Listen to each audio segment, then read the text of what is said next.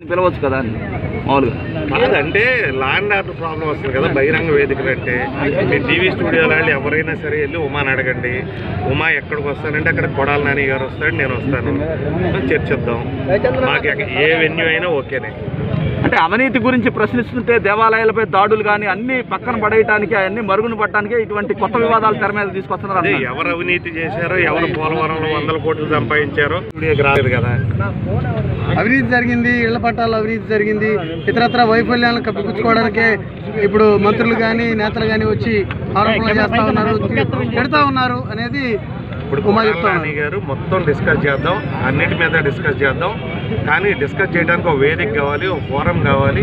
మన ఇద్దరం ప్రశాంతంగా నేను చెప్పేది నువ్వు వినాలి నువ్వు చెప్పేది నేను వినాలంటే ఒక ప్రశాంత వాతావరణం కావాలి. కుదరచ్చు టీవీ ఛానల్కి నువ్వురా నేను వస్తాను. మన ఇద్దరం డిస్కస్ చేద్దాం. ఏ ప్రభుత్వం ఏం చేసిందో ఏ ప్రభుత్వం చేయలేదో లేకపోతే నువ్వేం చేసావో నేనేం చేసావో చెబుతానని కూడా నాని గారు. మీరు అడగండి ఆయన ఎప్పుడు వస్తాడు ఏ ఛానల్కైనా వస్తాన్నాడు కదా నాని గారు. మీరే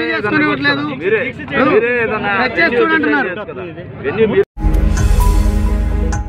వీడియో గనుక మీకు నచ్చినట్లయితే లైక్ చేయండి షేర్ చేయండి. మరిన్ని వీడియోస్ కోసం మా ఛానల్ను సబ్స్క్రైబ్ చేయండి.